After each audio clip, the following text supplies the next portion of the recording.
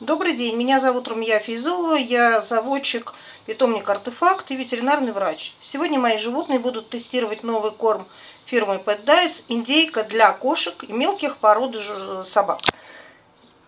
А, собственно, я уже выдавила часть, сейчас продемонстрирую, какой он при выдавливании из пакета, этот корм. Вот такой вот консистенции.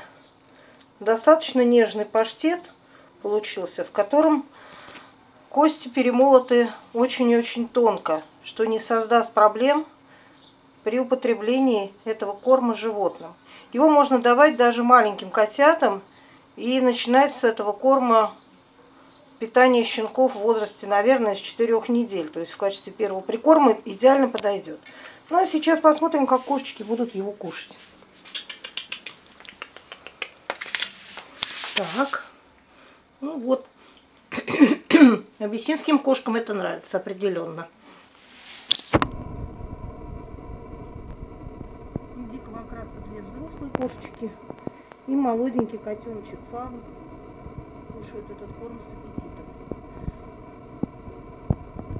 Хочу обратить ваше внимание, что данный корм нельзя давать в вареном виде, а также разогревать в микроволновке в избежании превращения костной части в неперевариваемый субстрат, который будет только забивать желудочно-кишечный тракт. А вот в сыром виде это очень хороший продукт, поскольку позволяет получить кошкам минеральные вещества в доступном, самом лучшем усваиваемом виде.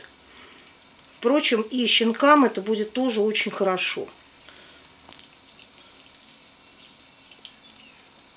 Ну, как мы видим, аппетит вызывает данная пища. Вот, апельсины его признали годным к употреблению. На этом, я думаю, тест можно заканчивать. Еще раз напоминаю, это был корм индейка для кошек фирмы Pet Diets. Всем хорошего дня!